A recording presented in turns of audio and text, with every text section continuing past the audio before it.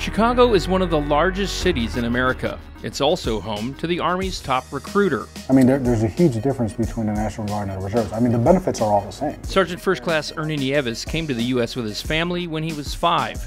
Go, go, go, give it all you got. He joined the Army when he was 32.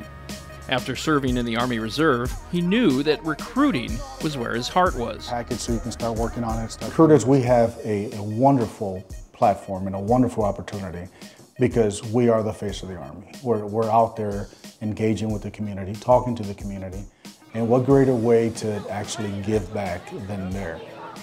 That's why he wanted to come back to Chi-Town to recruit. It's my knowledge of, you know, the, the, the violence that exists out there, um, I guess made me a lot more comfortable, if you will, to go out there and actually get my hands dirty, reach out, pull out as many as I can.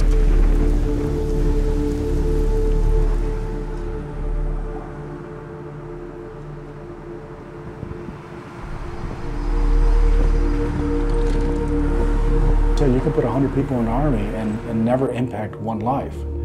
And that's my goal is, is to make every recruiter aware that you have that responsibility. You, that is part of your job is to make a difference.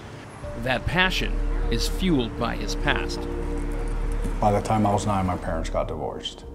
I, I was extremely, extremely close to my dad, being the firstborn. When he left, I, I had a lot of anger. I had a lot of questions like, why? Why would this happen? Growing up, I, I started to, you know, you, you start to look for that, that mentor. You start to look for that father somewhere. And like so many other young men, he found that mentor in a local gang. The way we were set up was very, very family oriented. Uh, so everybody looked out for each other. Well, it, it's transitioned from a sense of family and belonging Mm-hmm. to thrill. And now, for the most part, it is about the money. But the glamour and that feeling of family he got from the gang couldn't compete with a reoccurring nightmare.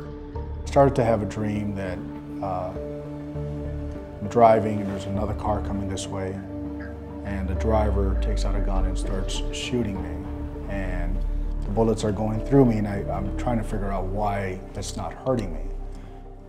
Then I look in the back seat and, and my son's in the car seat and um,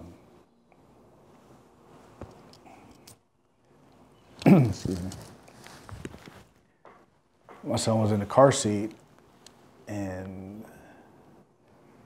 he was bleeding. And I remember screaming in my dream saying, Why? Why him? Why not me?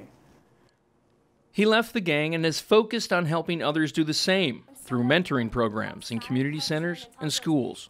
You know, it's the mentality that needs to change. It's not necessarily the environment. So, sounds good. If every recruiter would realize that, okay, you don't qualify, but I can leave you with something that maybe can change your life from there. And have that sense of responsibility and that obligation to serve in that capacity. It would change how the view, how the world sees us. Um, it says, for his commitment to our students, their lives and futures through the freshman mentoring program, thank you for all your support to Steinmetz community. Thank you. when you see them listen and follow through with it, I'm very, very proud of, mm. of the potential that these kids have here in, in, in Chicago. That's why I, I don't, I can't wrap my mind around like, why wouldn't you do this? Mm. Having the opportunity, why wouldn't you give back?